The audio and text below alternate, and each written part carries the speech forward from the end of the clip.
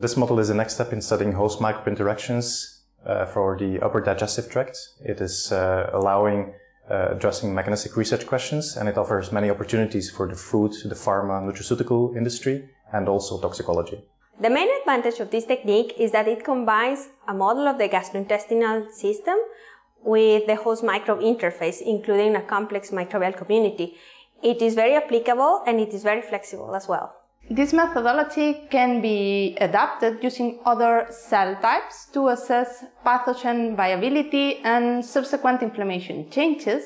It can also be used to assess uh, colonization capacity of probiotic mixtures and ultimately the uh, potential effect of bacteria on the prosystemic circulation.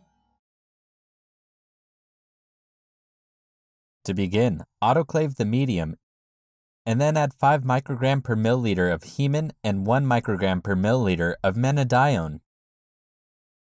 Dispense 9 milliliters of the medium into Hungate tubes and close the tubes with a rubber stopper and an aluminum cap. Then flush the tubes with a mixture of 90% nitrogen and 10% carbon dioxide. Use a syringe to retrieve 1 milliliter of anaerobic medium and transfer it to a 1.5 milliliter microcentrifuge tube. Pick single colonies of each bacterial species and resuspend them in the medium. Then transfer the colonies into the anaerobic modified BHI and incubate them at 37 degrees Celsius for 48 hours. Following the incubation, use filter sterilized PBS to dilute the cultures to 10 to the 5th cells per milliliter. Then use flow cytometry with the side